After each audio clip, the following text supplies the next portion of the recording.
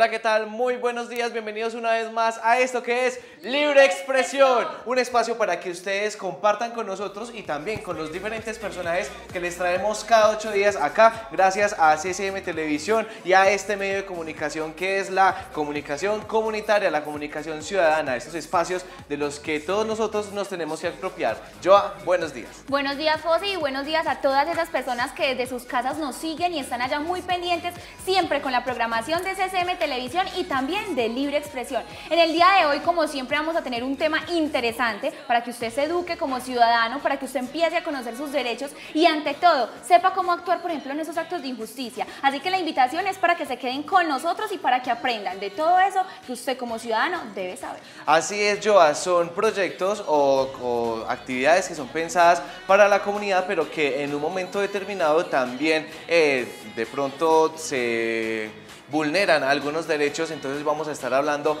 acerca de esto, específicamente una problemática que se viene dando aquí en el municipio de Marinilla, vamos a tener a un representante de la comunidad, específicamente las personas que viven eh, en los aledaños, pues en el sector de la, doble, de la doble calzada que se está construyendo y de la autopista Medellín-Bogotá, entonces ellos nos van a estar contando un poco acerca de esas historias que se están viviendo, esas historias que están haciendo con este proyecto de orden estatal. Digamos, José, que a veces todas esas injusticias y todas esas cosas que se cometen o esos atropellos a los derechos de, lo- de los seres humanos se dan por el desconocimiento, por no conocer, por Es no verdad. conocer la ley, por no conocer cuáles son los procedimientos que se deben de hacer, cuáles son los reclamos, cuáles son sus derechos. Entonces, por favor, de nuevo, reiteramos, la invitación es para que se queden con nosotros. Vamos a tener dentro de un momento a dos personas que nos van a estar hablando acerca del tema. Yo sé que a más de una persona en Marinillas es un tema que le está llegando, que le está tocando, entonces los invitamos para que se queden con nosotros en el programa del día de hoy, que va a estar muy, muy interesante. Así es, y de hecho ustedes ya se pueden programar, ya saben, sigo 48 47 41 para que llamen y participen por si ustedes son de esos personajes que también están viviendo esa, esa situación, que también comparten esta, de pronto esta problemática, llamen y participen, también pongan su punto de posición al sigo 48 47 41. Pero yo, ¿qué tal si empezamos esta mañana de sábado con algo de actividad física para coger energías en este fin de semana? Yo creo que sí, José, es bien importante porque además el día está súper bonito y acá en Libre Expresión siempre se le dan consejitos que ustedes deben de tener en cuenta para muchas cosas que se pueden mejorar en su salud. Últimamente, como ustedes lo han podido ver, hemos estado trabajando muy de la mano con Sumar para Perder. Así que vámonos con esta nota de salud. Entonces, ahí a tomar nota bien juiciosos y ya regresamos con más de Libre Expresión.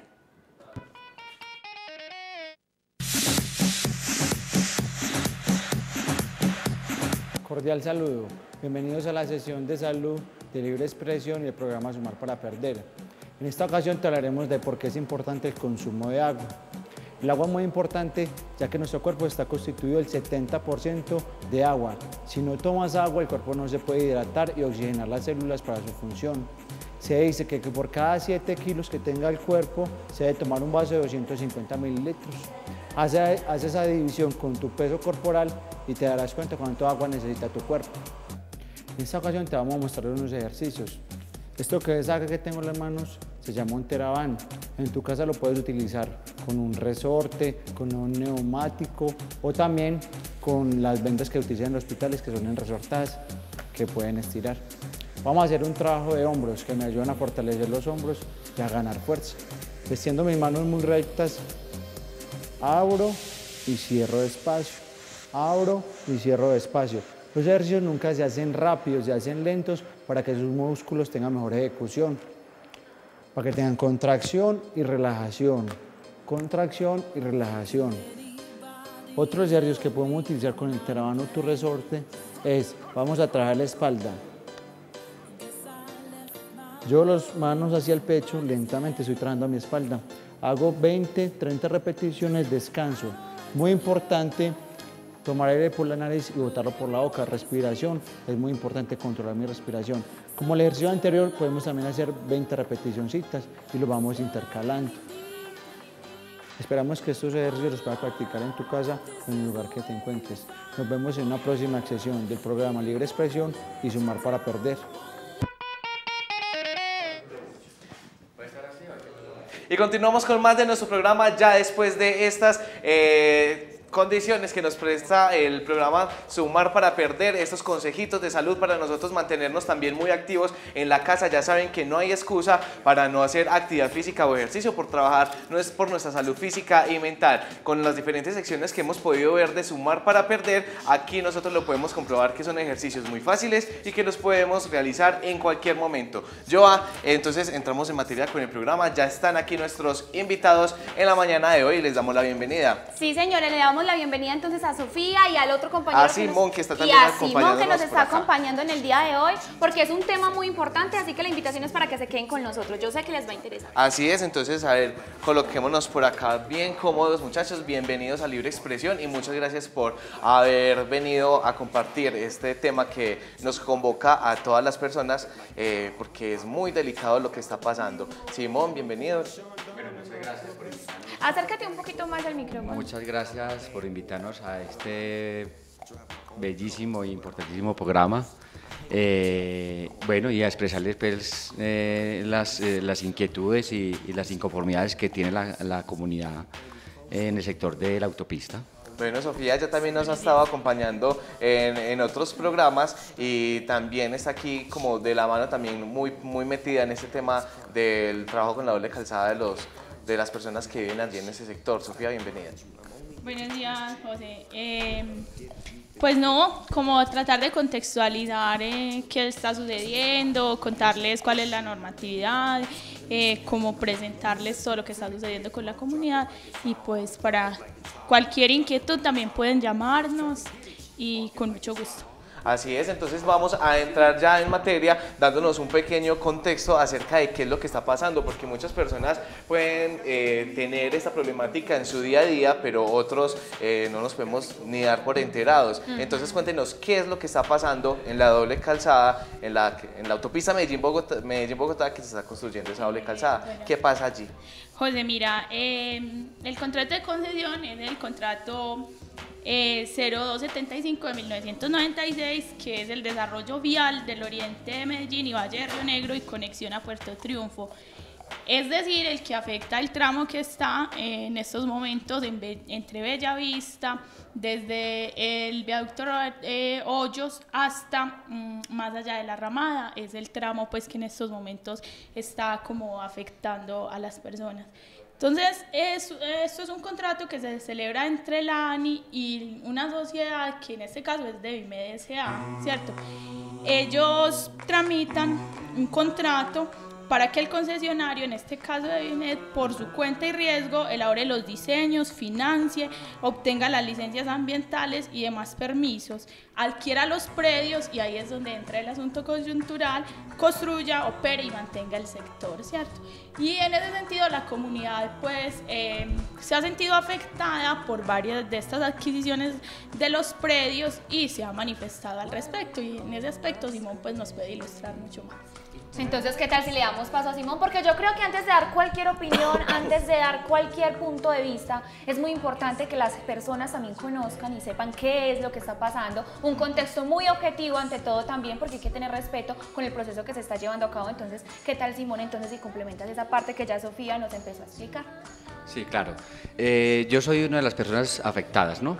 Eh, empezaron a, a hacer los avalúos el 22 de julio eh, con cuatro propiedades, ¿cierto? 22 de julio de qué año? Del 2000 de este año, De este el, año. el de este año, el de este año. Empezaron a hacer las ofertas eh, eh, el 22 de julio. En- entre esas estaba mi, está mi propiedad y en cuál estuvimos en desacuerdo con aquellos avalúos. Se puso en revisión los avalúos de las propiedades y hubo eh, eh, inconsistencia en ese, en ese avalúo. ¿Cierto? Entonces empe- empezamos a, a- a consultar, a hacer revisión de los avalúos y, y con profesionales, porque todo se ha hecho profesionalmente, eh, con, todos los, eh, con todas las normatividades y con profesionales y con los currículos normales y hemos eh, eh, llevando todo por un transcurso normal de, de los avalúos y lo que está pasando. Inmediatamente hubo inconsistencias y se objetó esos avalúos y se empezaron a encontrar muchas irregularidad- irregularidades en esos avalúos y de ahí se vino viendo de que el concesionario estaba incumpliendo muchas cosas. Bueno, Eh, es decir, eh, retomemos, la problemática es, se está construyendo la doble calzada eh, tramo, Medellín, que es la Bogotá, en el vía del tramo- Sol. Ajá, que es la vía del sol, que este, pasa pues por acá, por el municipio de Marinilla. En, esa, en ese tramo hay viviendas, ha habido siempre viviendas y lo que van a hacer es comprar esas viviendas y para poder construir. Esa es la problemática, ¿cierto? Y lo que influye ahí es que las personas no están de acuerdo con lo que les ofrecen por sus, Por sus por sus viviendas. Bueno, entonces, Eso, vamos a ir por ese En tema. ese sentido, entonces es importante que las personas entiendan lo que es un avalúo, ¿cierto? Entonces, el avalúo predial fue un decreto que se llama 1420 de 1998. Es el valor comercial de los predios determinados por las lonjas. Las lonjas son las inmobiliarias que teniendo en cuenta diferentes variables como el uso del suelo, la ubicación, la estratificación, la destinación económica, hacen el avalúo correspondiente a lo que, a lo que eh, van a ofertar por estos predios. Ya después, en, en sentido de la problemática, podemos explicar cuál es la queja de la comunidad respecto a este avalúo con el que no están de acuerdo. Ahí también hay algo muy importante y es que Sofi, por ejemplo, nos pasaba un documento que es precisamente el que ella también está tomando base para hablar con ustedes porque es un, un tema muy delicado y es también esa diferencia entre enajenación de terreno y la expropiación del terreno, ¿cierto? Yo quisiera que más adelante también le expliquemos un poco más a los televidentes acerca de esos dos conceptos. Sí. Sí, bueno, de una ya. bueno, ya. Eh, la enajenación voluntaria es la adquisición directa del predio requerido de acuerdo con el avalúo corporativo. Es decir, ellos hacen una oferta y las personas tienen un tiempo hábil que son 30 días para decidir si esta oferta corresponde Imagínense, a 30 ellos. días. Ajá. Entonces, 30 días para, para sí. tomar una decisión que le abarca el resto de la vida y que deja atrás todo, un- toda una historia. 30 días. Sí, es, es muy poco, exacto, es muy poco. Y en caso de no darse la enajenación, eh, la concesionaria hace un trámite ante la ANI para que exida un documento de expropiación. Es decir, que el juez disponga la entrega del predio a través de un proceso. Este proceso, vale mencionar que debe ser un proceso claro, frontal con la comunidad, donde eh, la concesionaria le explique qué es lo que le está negociando, qué es lo que le están ofertando, bajo qué condiciones se hizo el avalúo, cómo van a manejar eh, la compra del avalúo y tienen que hacer eh, una serie de reparaciones socioeconómicas, es decir, deben entregarle a la gente que eh, son miembros de una unidad social residencial una cantidad de beneficios pues por compensación y concepto de que lo están sacando de su vivienda, de su morada, eh, digamos de una forma demasiado eh, rápida. En ese sentido, la comunidad ha manifestado no estar tampoco de acuerdo con el procedimiento que se ha desarrollado. Bueno, Simón entonces hace parte de, eh, como representante, nos acompaña como representante de esa comunidad que está siendo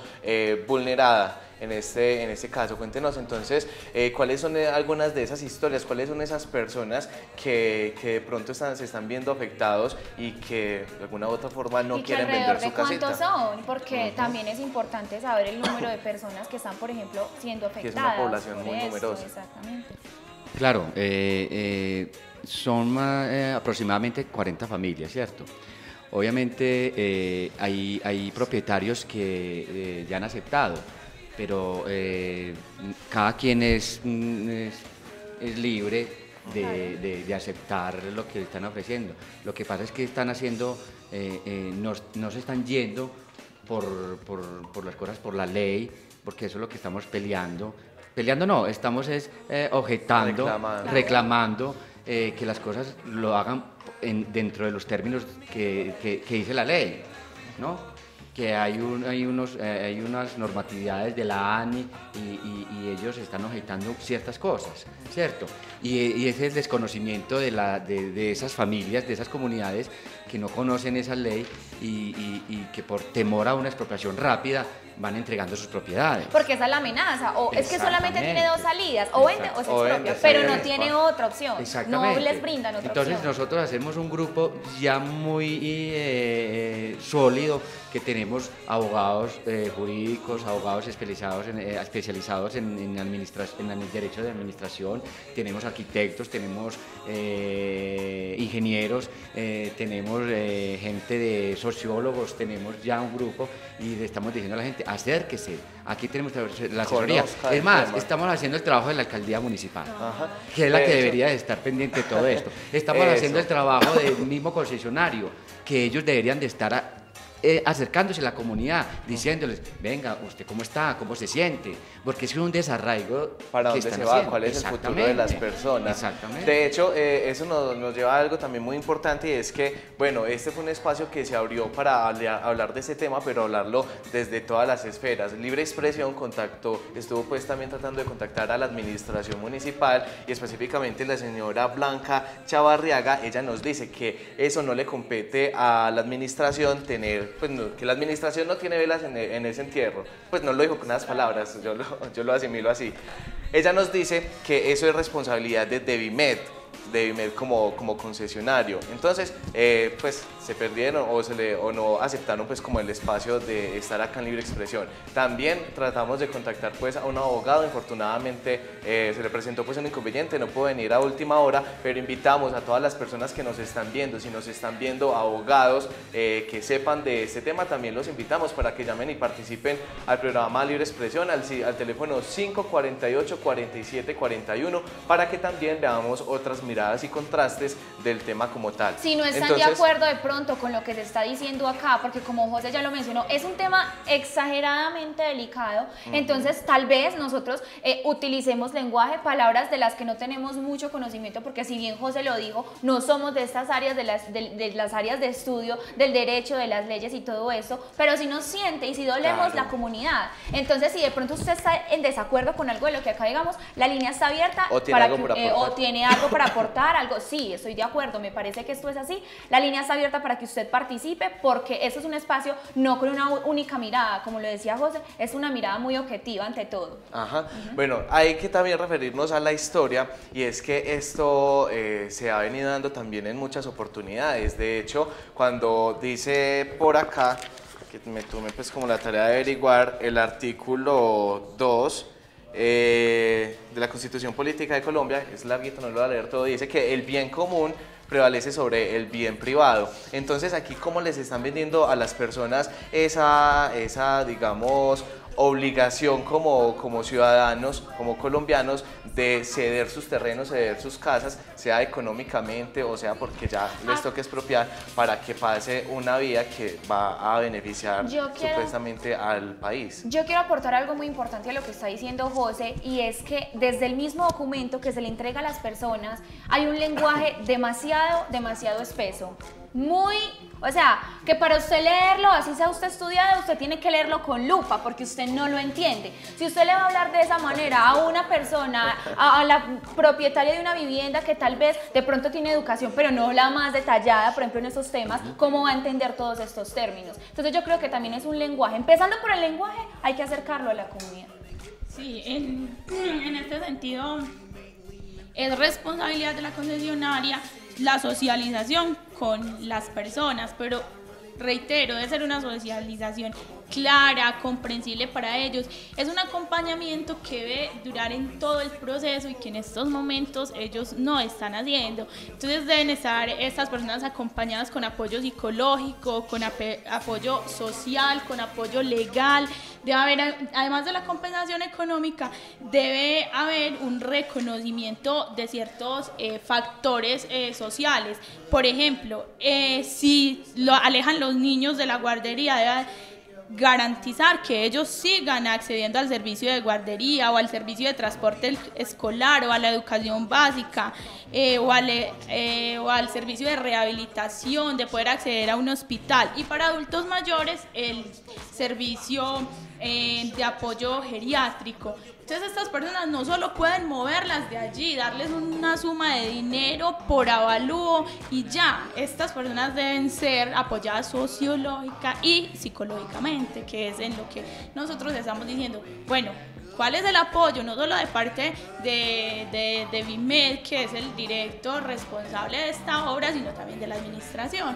Simón tenía... Sí, claro. Eh, usted, eh, eh, la, esa de, de la alcaldía, usted me comentó algo. La respuesta esa de la funcionaria, yo no Sí. sé si es funcionaria, me toca ya algo, me tocó la fibra y me pone eso muy incómodo. Marinilla no es de la autopista hacia acá, Marinilla también es de la autopista hacia allá. Hay más de 4.500 personas que viven allá y hay una franja que está afectando a más de, más de 30 familias, comerciantes, y hay más desempleo. Entonces, que la alcaldía no diga que no le compete, sí, porque es que están pasando por tu casa y, un, y un desconocido o conocido, porque ya lleva que 12 años de IME en la autopista Medellín-Bogotá, y va a decir que eso le compete a IME y a mi municipio no, ¿cómo así? Entonces, sí somos habitantes de Marinilla cuando pagamos impuestos, cuando estamos cumplidamente al orden del día con los impuestos y cuando nos están afectando y estamos pidiendo la ayuda de la alcaldía, que venga a hacer socialización, que venga acompañándonos cuando van a- hacer un desarraigo de comerciantes, de trabajadores y de residentes, ahí sí no les compete, no están pasando por Marinilla Mm, es y, y- cierto. y es- y eso le compete también a la alcaldía y eso es lo que estamos reclamando nosotros. Es muy importante porque eh, usted mismo lo dice, eh, tiene un trasfondo de que no es solamente mover a las personas, sino que también es, bueno, ¿cuál es el, lo, lo venimos repitiendo, cuál es el futuro que van a tener esas personas, para dónde se van a ir, dónde van a, a- a establecerse? Si, por ejemplo, una persona que tuvo una casa propia durante 30, 40 años, una casa inmensa, las casas tradicionales, para irse a vivir a un apartamentico, a comprar un apartamento o a pagar arriendo No, en un si apartamento y el apartamento, porque es que lo que se les da, pues en realidad cuánto se les está dando, porque según lo que decía Sofi, se mide según lo, lo socioeconómico, la estratificación y todo eso, entonces si le da un porcentaje bien bajito, ¿qué? Y si en realidad la persona compró la casa en otra cantidad de dinero, ¿qué? ¿Cómo se le reconoce ahí a la persona eso? Eh, Pero eso es lo que yo, yo, yo quiero, este programa de libre expresión, para eso estamos, para hablarle a la gente como es, el lenguaje popular del pueblo. Usted hablaba ahorita de los términos jurídicos y técnicos, la gente no lo entiende, ni yo lo entendía. Y la gente que habla como es, señora, usted por 60, 70 millones de pesos, ¿usted dónde puede comprar una casa, para bien o para mal en su casa? Entonces, ellos vienen a hacer una obra. Estamos de acuerdo con el desarrollo, la autopista se tiene que hacer, la doble calzada tiene que hacer, pero si van a adquirir unas propiedades, que le paguen a la gente lo que es. Claro, porque es que lo que lo dice justo. Simón es cierto, es decir, nosotros acá con libre expresión no vamos a decir que vamos a detener la pavimentación de la No, doble no, calzada, la vía del sol, eso es imposible. Eso es algo que ya viene desde el orden nacional, desde la planeación nacional, eh, que obviamente, pues listo. También hay otra cosa muy importante y es qué tipo de desarrollo están persiguiendo estas personas, porque estamos hablando de un desarrollo comercial, un desarrollo económico, solamente se basa vial, de comunicaciones, pero qué tipo de desarrollo humano y social se está, por ejemplo, persiguiendo. Que están vendiendo la idea de ese desarrollo solamente de, de algo constructivo, que sea eh, a partir de pavimentaciones, algo más de infraestructura, pero no el verdadero desarrollo que es la calidad de vida Es para que eso esas de pensar personas una señora que está vendiendo la casa, bueno, ¿y a mí en qué me conviene que pavimenten esta vía? Claro, eh, vea yo, en ese sentido, los conceptos de desarrollo eh, han avanzado hacia mm, un concepto que en estos momentos las eh, comunidades entienden como el buen vivir, o sea, una forma de desarrollo donde ellos son sus propios constructores, no es una imposición exógena del concepto de desarrollo, es una construcción colectiva. Yo lo decía bien en el, en el pasado programa donde estuve invitada, cuando la colectividad construye, tiene la ocasión de definir qué desea, cómo lo desea, bajo ¿Y qué, qué conceptos, necesita? qué necesita, qué es lo que ellos entienden por concepto de desarrollo. En ese sentido, pues la participación ciudadana es de suma importancia. Por eso también queremos aprovechar para invitarlos a conocer todo esto. Nosotros hacemos reuniones constantes, como de los, desde la vez pasada. También tenemos correo, páginas oficiales donde ustedes pueden consultar lo que sucede. Hemos invitado en varias ocasiones eh, a Devimed a socializar con la comunidad, no han ido. Eh, invitamos a la interventoría. El Consejo Municipal les pidió un documento y Devimed le hizo respuesta a este documento en un grueso de 17 páginas donde justifican de alguna manera eh, su no participación en todos los eventos a los que hemos ido. Entonces es como la invitación, júntense también con nosotros, reunámonos, entendamos lo que está sucediendo. El tramo que atraviesa Marinilla no es solo Bellavista, La Amistad, San Juan, son todo Marinilla, se ve impactado por estos proyectos. Interesante también que, que los pensemos como propios. Así es. Dale, es precisamente, no es precisamente eso, eso lo que está diciendo Sofía, por eso pasan las injusticias. Porque es que hasta que no nos pasa, hasta que no me pasa a mí, hasta que no soy yo la que tengo que vender, hasta que no es mi mamá la que tiene que vender la casa. No, ay, mira, los de Bellavista les están tocando, les está tocando, los están expropiando. Qué pesar de esa gente, pero yo cómo me estoy vinculando con eso que está pasando, es que lo que dice Sofía es personas que cierto. hacen parte claro, de mi comunidad, que no es el son- desarrollo, personas que se van a, van a necesitar más, eh, más empleo. Mire, ¿Vas a decir eh, algo? Sí, claro. Simón. Mire, eh, eso, le, eso quería comentarles. Eh, cuando empezamos esto, Marinilla no sabía qué iba a pasar ahí. Marinilla no sabía qué... Marinilla, eh, los marinillos, lo- la comunidad creía que iba a pasar la doble calzada y listo, pero no sabían de qué iban a afectar unas familias, de qué iban a afectar unos comerciantes, de que va a haber desempleo. Entonces yo le, yo le decía a la gente, entonces dígame si la doble calzada pasara por María Auxiliadora o pasaba por, eh, por acá por el parque y afectaba unas propiedades, ¿qué pasaría? ¿Cierto? Cuando empecé esto, eh, estaba en una reunión con los comerciantes y con, Deime- con el consejo y estaban con los comerciantes y hablando de ellos, del comercio nomás, de que ellos estaban reclamando algo.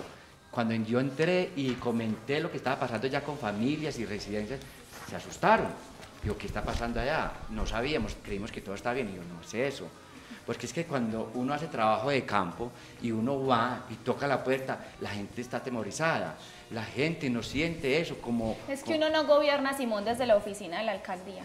Uno gobierna desde los barrios. Desde aquí la. Es que es la hora, digo que más que a- a- también a estos, a estos representantes eh, de la comunidad ante el Estado, lo- los, funcionarios públicos, es la hora de, de despertar, de toda la comunidad despertar y sentirse en un llamado común. No solamente, como usted lo decía, no, esto no solamente afecta a las personas de este sector, sino a todo un pueblo, a todo un territorio. Y este proyecto no solamente se ve, no solamente nos afecta cuando nos toca esperar en el trancón en la, autopista, o cuando, hay una polvareda pues muy importante, eh, muy grande, cuando va a las casas y las ensucia. Eso no es el foco del problema. El foco del problema son esas familias, esas familias que están allí en esos lugares y no saben con las zozobras, no saben para, para dónde van a ir o cuál va a ser el futuro. Yo los invito a todos ustedes para que llamen y participen. Si son personas que se están viendo afectadas, son personas que tienen alguna opinión eh, acerca de- del tema que estamos tratando el día de hoy, ustedes pueden llamar al teléfono 548-4741 porque ese es el espacio para que ustedes hablen y obviamente no se les va a callar sus voces. Yo los quiero invitar muchachos a que, a que hagamos una cortica pausa, pero ya regresamos con más de este, de este programa y este tema que nos convoca en la mañana de hoy. Ya regresamos. ¿Qué tipo de palabra es la palabra más? A. Verbo. B. Adjetivo. C. Sustantivo. D. Adverbio.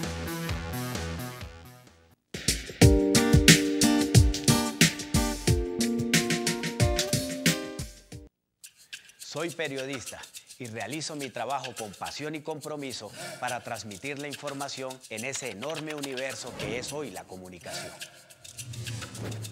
El arte y la cultura son las herramientas que me dan la fuerza para defender los derechos de las mujeres en nuestras comunidades. Desde niño siempre soñé con ayudar a los demás. Por eso me hice médico. Ha sido difícil llegar hasta aquí, pero hoy me siento orgulloso Las letras y la investigación son mi pasión. Es la literatura la que llena mi universo. Conozco el poder de las palabras. Por eso hago mi trabajo con mucho amor. Yo aporto a la construcción de mi país. La ANTV, en la celebración del diseño de las comunidades afrocolombianas, reconoce y agradece sus esfuerzos por construir un mejor país.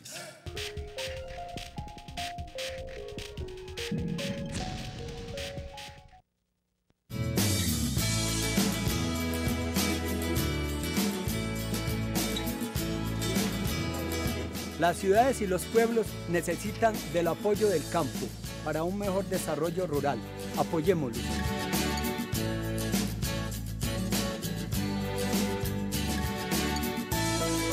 Día de campo, para que recuerden lo que son los campesinos.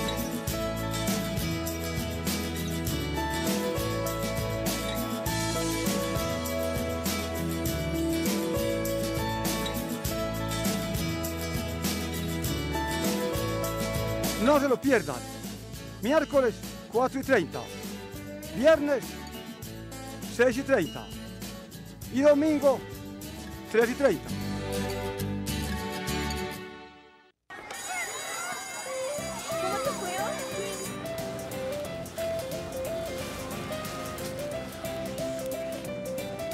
Uy, cuidado.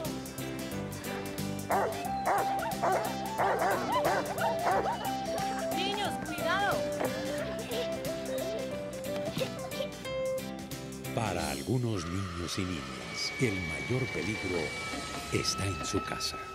La familia debe protegernos. Por eso, si en tu casa son violentos contigo, llama a la línea gratuita nacional 018000 91 8080. Por las buenas sí aprendo. ICBF, todos por un nuevo país. Servicio, integridad, perseverancia, compromiso. Estos y muchos más valores hacen que CCM Televisión se posicione día a día dentro de la comunidad marinilla. CCM Televisión, para ver lo que somos. Cuenta cada peso, cuenta, cuenta cada día más. Debes saber con qué cuentas y a qué gastos te enfrentas. No gastes más de lo que recibes. Y sin problemas vives. En tu cuenta cada peso cuenta. En tu cuenta cada peso cuenta. Estrategia educativa del Departamento para la Prosperidad Social y la Banca de las Oportunidades. Todos por un nuevo país. Paz, equidad, educación.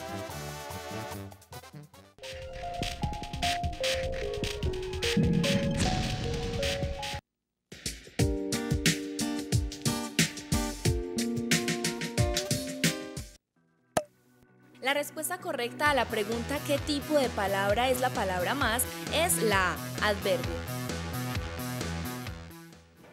¿Quieres llegar más alto? Ven, aprende y perfecciona una lengua extranjera en el Centro de Idiomas de la Universidad Católica de Oriente, donde te ofrecemos diplomados en inglés, cursos en alemán, francés y portugués, diplomado en inglés para niños y jóvenes, exámenes de certificación internacional, APTILS, IELTS, BULATS y TKT con el Consejo Británico. Para mayor información, llámanos al 569-9090, extensiones 398 y 559. O síguenos también en Facebook, donde nos encuentras como Centro de Idiomas UCO, porque en Idiomas UCO te llevamos más alto.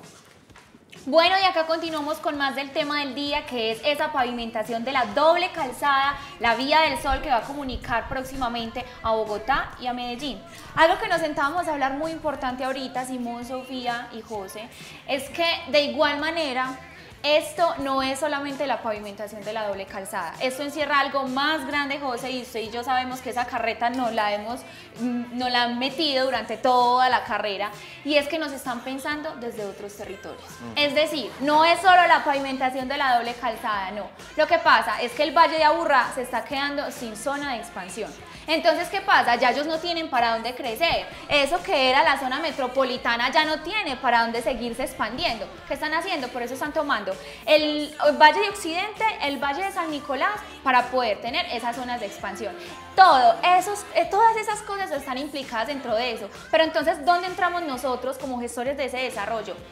¿Qué desarrollo? El desarrollo de quién están pensando, el desarrollo de esos lugares, de la ciudad, de la metrópoli o de las mismas regiones. Yo creo que eso es algo que tenemos que empezar a gestionar nosotros y a preguntarlos, a preguntarnos cómo podemos nosotros entrar a actuar y a defendernos en todo ese, en todo ese proceso. Yo los quiero invitar a que busquen en internet, es un documento que ustedes encuentran donde, donde quieran para que se den cuenta de cómo ha sido ese proceso de expansión. El documento se llama Horizontes 2030 y Planeo. En esos documentos usted va a encontrar todas las características que existen en esos momentos de expansión del área metropolitana. Entonces, nosotros, eso no es algo tan negativo porque nosotros también podemos estar beneficiados con toda esa expansión y con todo ese desarrollo que se está generando, pero cómo nosotros lo podemos utilizar para que no afecte nuestro raigambre, nuestra cultura y ante todo el, el propio desarrollo endógeno de la región, el desarrollo local que es muy importante. Es verdad lo que usted dice, Joa, y precisamente para eso estamos también eh, y generamos espacios como este, espacios en los que la comunidad puede participar. Ustedes ya saben que el tema del día de hoy es cuál es, esa problemática que se está presentando con la construcción de la doble calzada Medellín-Bogotá, las personas que se están viendo afectadas. Si usted es una de esas personas o, o tiene más información para compartirnos acerca de este tema, lo pueden hacer llamando al teléfono 548-4741 porque hoy estamos aquí con estos dos representantes de la comunidad que nos están contando un poco acerca de lo que están viviendo estas personas y de cuál es el futuro que se espera para ellas. Eh, Simón, entonces hablemos, hablemos ahorita un poquito de esas historias precisamente. Usted ahorita nos contaba de una pareja de 60 años que no saben para dónde van. Cuéntenos un poco de esos personajes que llegan hacia ustedes buscando también ayuda y representación. Eh, antes, que, antes que Simón nos cuente, eh, quiero hacer la observación de lo que es la corresponsabilidad y por qué cuando DEVIMED, la administración o diferentes entes responden esto no es responsabilidad de nosotros, nosotros decimos sí, en esto hay una corresponsabilidad. O sea, la compensación socioeconómica debe estimular el esfuerzo de las unidades sociales de tal forma que constituyan un factor de mejoramiento real. Lo que Simón ahora nos va a contar la serie de historias que, que José le propone dan cuenta para que juzguen ustedes mismos si esto es una compensación, es un cambio real de buen vivir o es cualquier otro tipo de imposición del desarrollo. Sí, mire, eh, es, es, eh, pasa en el caso mío, ¿cierto? Eh, mis papás ya son de 70 años. Ellos reciben unos, unos ingresos de unos arriendos. Con lo que están ofertando en estos momentos, a mi propiedad, mi papá salen a pedir limosna. ¿A dónde van a estar esos ingresos?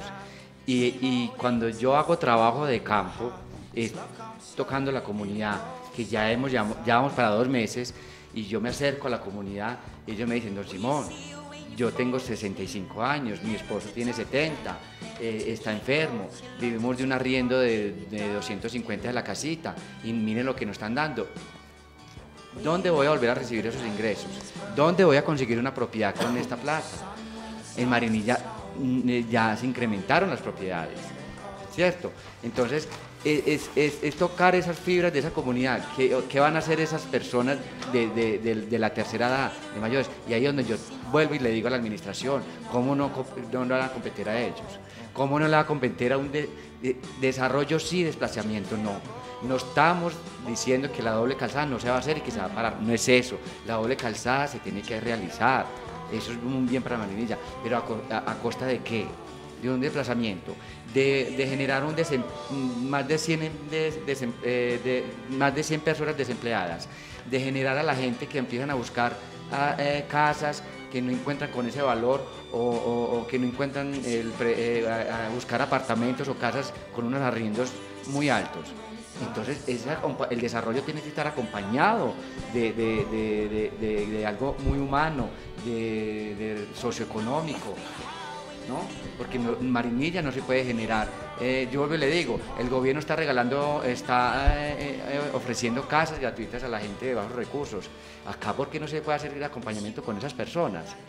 Se está rebajando el desempleo, aquí lo van a incrementar. Entonces, ¿cómo no se va este, la alcaldía no, cómo no tiene que estar presente en esto, ¿cierto? Y la gente está asustada, no ve a Dime como un amigo, porque lo que están socializando a ellos, ellos se socializan, es temerario, todo el mundo. Yo los invito a los marinillos, y hay una frase que yo digo, marinillo, cuida marinillo.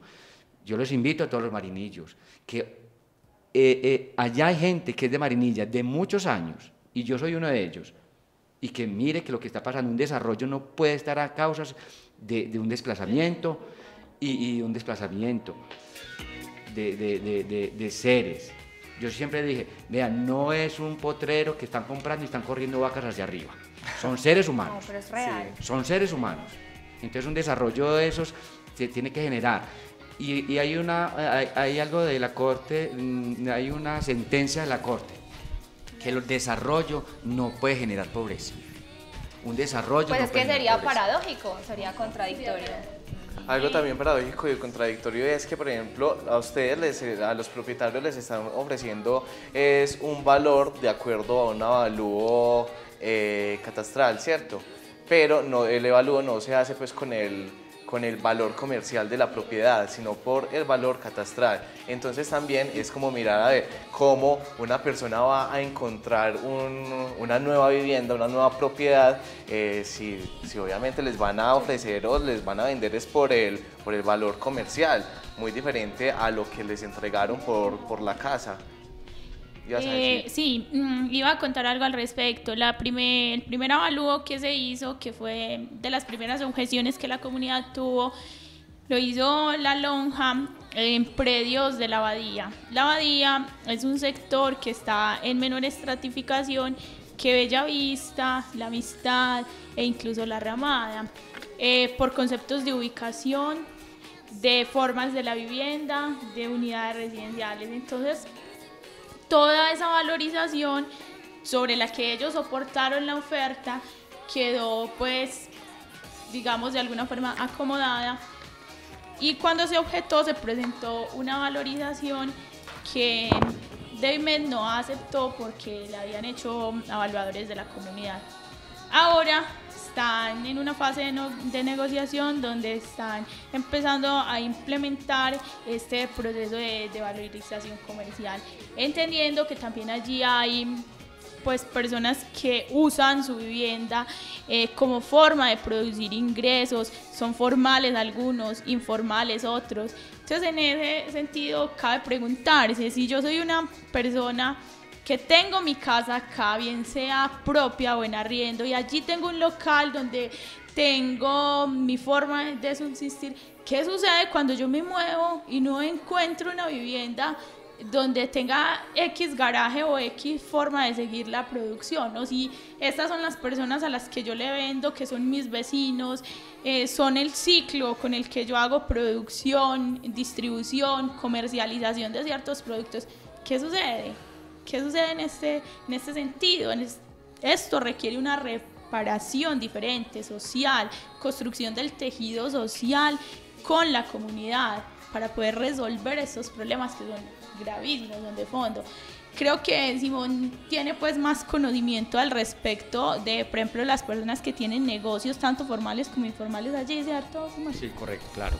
Es, eh, son comerciantes que tienen un, eh, una, eh, unos ingresos mensuales de 7, 8 millones de pesos y vienen a ofrecerle 3, millones 800. Ellos dicen, es imposible, yo llevo aquí más de 15 años trabajando y, y- y- y- y- y- y- y recibo esos ingresos de mi actividad económica, eh, eh, con mi negocio de ingresos de 5, 7 millones de pesos y me van a compensar con 3 millones 800. Claro que hay, hay unas, eh, la ley lo dice, cómo tienen que estar organizados, eh, pero no todo lo tiene que cumplir, ¿cierto? Es que nosotros nos, nosotros nos estamos guiando, no, no estamos peleando, no estamos objetando por objetar, ¿cierto? Todo lo estamos haciendo por la ley. Por la ley, eh, mirando las resoluciones, eh, mirando lo que el- la cartilla Lari lo tiene, y eso es lo que estamos pidiendo. Ellos están objetando muchas cosas, Sí, ¿cierto? es verdad. Ahí es una y- impotencia muy grande y es cómo ir contra ese gigante que se llama ese desarrollismo. Y el Estado que- como tal. Es muy, es muy difícil, sobre todo por ese artículo que, que nos viene, que viene y nos dicen y se amparan en ello, es cuando el bien, vuelvo y lo repito, cuando el bien común, el bien común prevalece sobre el bien privado, pero entonces allí las personas, así sea que yo, yo estoy, de- hagamos este ejercicio, yo estoy en desacuerdo y no quiero vender mi casa. Ahí, bueno, soy, la, soy el individuo. Yo, ah, sí, yo no quiero y el resto sí, me toca, ¿cierto? Pero ya cuando yo, ah, cuando Sofi, cuando Simón se, se juntan a mí y generamos ese movimiento, nos juntamos como comunidad, entonces ahí ya no somos individuales, ya somos una población. Pero qué tal si no solamente en son esas contra de- personas que no quieren vender, sino que son esos amigos de ese amigo, de ese amigo, de ese que no quiere vender, que lo quiere apoyar también. O sea, hace Si falta es, mucho. todo, si es toda marinilla, ahí es muy importante también entrar a esos apoyos y esos lazos que le da la fuerza al movimiento para que obviamente el Estado se pellizque, se mueva, reaccione y tenga en cuenta a toda esta comunidad, a toda la población, porque vienen también ahí a entrar los, los dichos de nuestros abuelos y es que una sola golondrina no hace el verano, Ujú. pero cuando nos eh, cuando ayudamos, cuando nos pensamos y nos pensamos en los zapatos del otro, ahí podemos aportar a que esa persona que hace parte de mi comunidad, que hace parte de mi territorio marinilla, tenga una buena calidad de vida y no sea vulnerada. Simón. Mire, eh, eh, es, es un, es un discurso de doble moral que está manejando el concesionario, ¿cierto? La gente dice, págueme lo que es, lo que vale el terreno, lo que vale aquí el punto. No estamos hablando de, sin desmeritar los sitios de Marinilla ni de casas, pero estamos hablando del, del paso urbano de Marinilla que es entre la amistad y, San Joaquín, ¿cierto? Que son unos, unos, uno- eh, es un punto muy bueno y la gente dice, págueme lo que es, lo que es justo, ¿cierto? Si no, reubíqueme. Pero ellos objetan y minimizan mucho los gastos. Es una obra que tiene más, eh, se, se les dio 174 mil millones de pesos, más de 35 mil millones para comprar pedidos y están minimizando los gastos. ¿Para qué? ¿Para qué eso? ¿Para dónde ¿Ah? se está yendo el resto de la plata? Eso le digo yo, eso le digo yo, ¿no? Muchachos, yo yo, los invito, Simón. eh, yo creo que este tema está candente, pero entonces nos vamos a ir un momentico con esta nota de ¿Sabías qué? Y ya regresamos con más de Libre Expresión. ¿Sabías que la palabra millón no existió sino hasta el año 1300? Así es, la palabra millón no se conoció sino hasta el año 1300. Hasta ese momento la palabra para expresar el mayor número de algo cuantificable que se mencionaba era miriada, palabra griega que indicaba 10.000. Un caso conocido es que Arquímedes, al calcular el número de semillas de amapola que existían en el universo, que él suponía, utilizó la expresión miriadas de miriadas de miriadas, al no tener un concepto numérico mayor en ese momento. Ahora, un millón es igual a mil millares. Continuamos, más con, eh, continuamos con más de libre expresión y este tema que nos ha tenido muy concentrados durante toda esta mañana, pero también queremos escuchar las voces de todos ustedes. Nos pueden llamar al teléfono 548-4741 o también nos pueden eh, o también pueden participar por medio de las redes sociales. En Facebook estamos como Libre Expresión de CCM Televisión. Allí también ustedes pueden escribir todos sus comentarios y si nos da el tiempo, ya nos queda pues poquito tiempo de programa, si nos da tiempo, aquí los, los mencionamos también y los hacemos públicos. Continuamos entonces también con nuestros invitados, con nuestros invitados, Sofía y Simón, que vienen en representación de esta comunidad que está siendo vulnerada con uno de los proyectos de orden estatal, que es la construcción de la doble calzada o las vías del sol.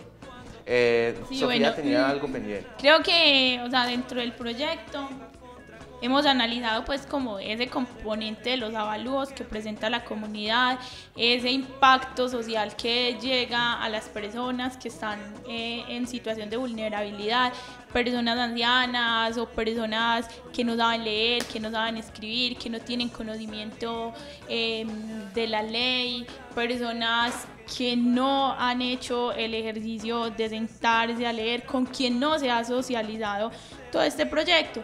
Y creo que también eh, hay otra parte que es un, componente de seguridad que se da y que es eh, por el que la comunidad también ha hablado, ¿cierto? Y para introducir eso hay como que recordar que la Corte sentenció eh, una construcción de un puente peatonal en, sobre la autopista Medellín, eh. Les leo una parte. Es la adición número 14 al contrato de concesión 0275 de 1996. Es el contrato del que estamos hablando. El diseño y construcción de un puente peatonal sobre la autopista Medellín-Bogotá en el paso urbano de Marinilla, empalmando el barrio Bellavista con el casco urbano, a la altura de la calle 34, en cumplimiento del fallo del Tribunal Administrativo de Antioquia, sala primera de oralidad, en Providencia S1 47 del 24 de septiembre de 2013, como respuesta a Acción Popular.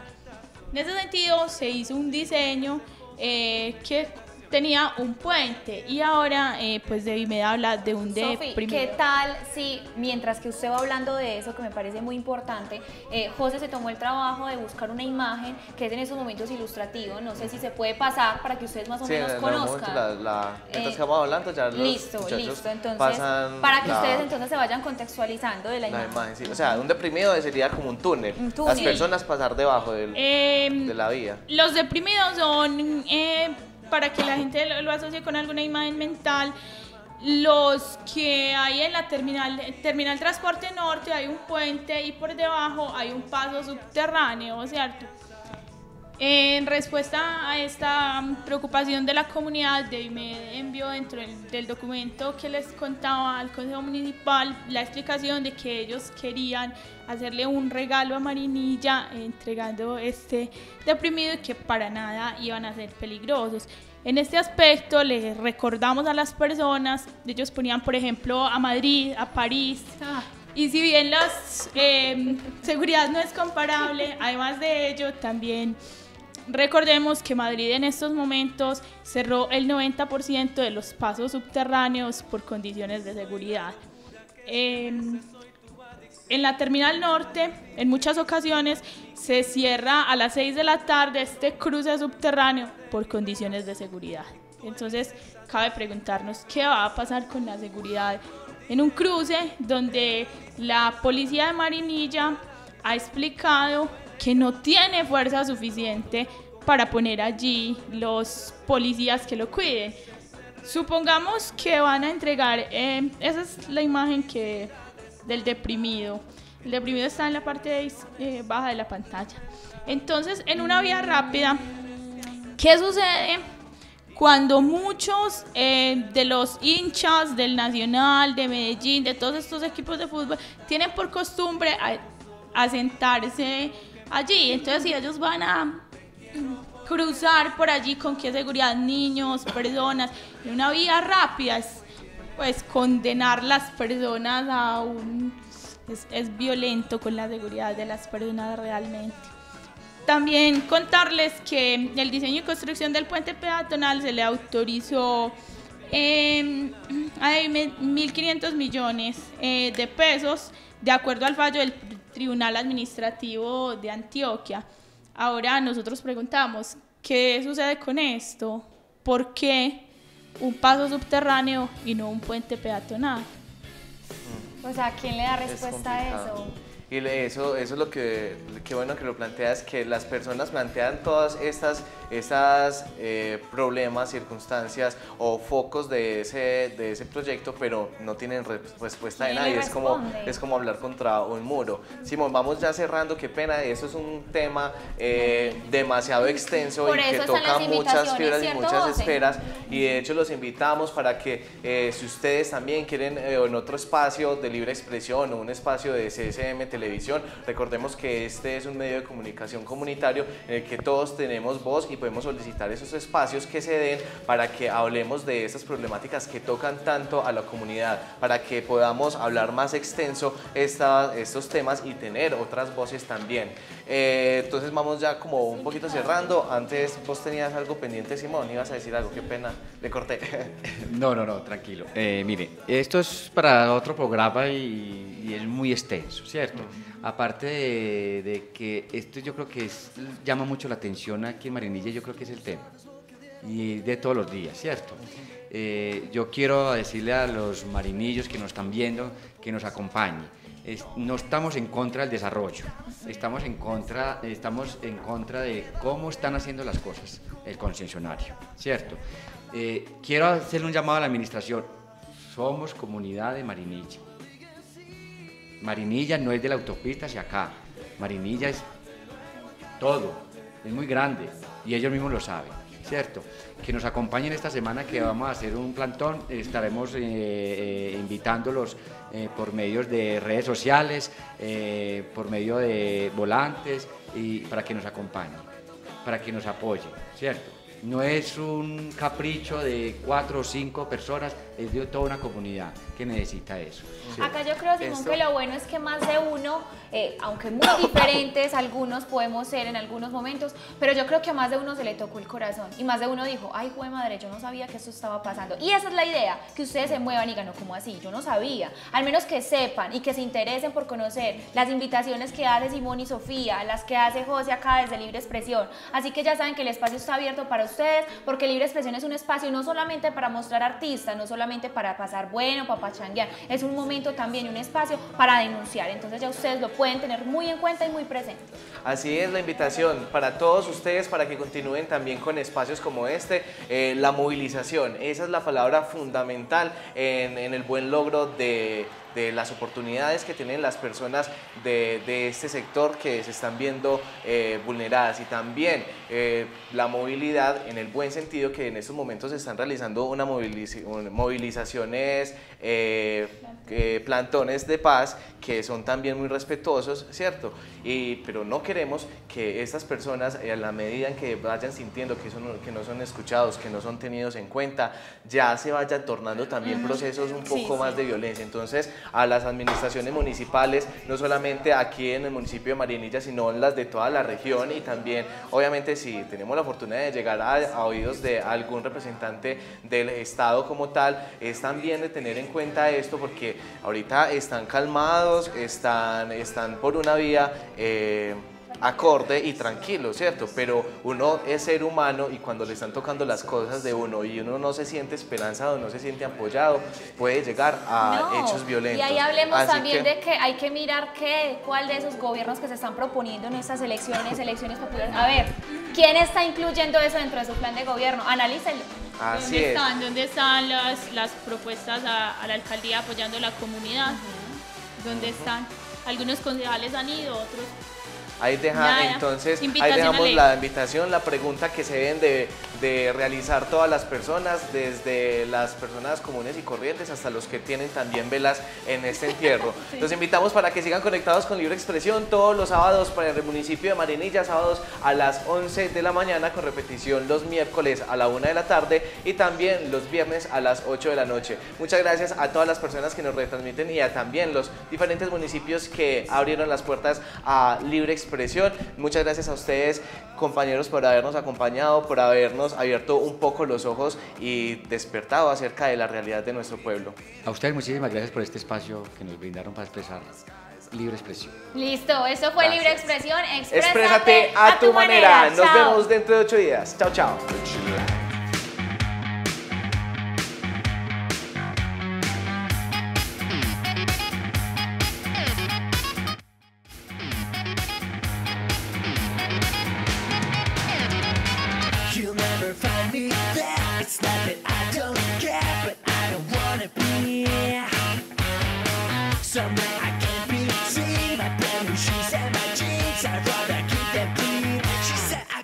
Wanna dance,